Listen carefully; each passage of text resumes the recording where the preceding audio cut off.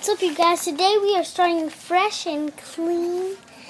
And today I'm going to showing a vlog of these dino chargers.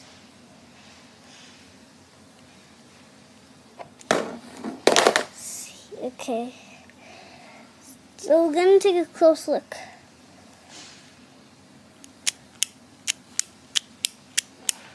Okay, now that you're done with that one. Oh, wait. Okay. Now, I haven't showed you this in a long time. And, um, it does have sound effects.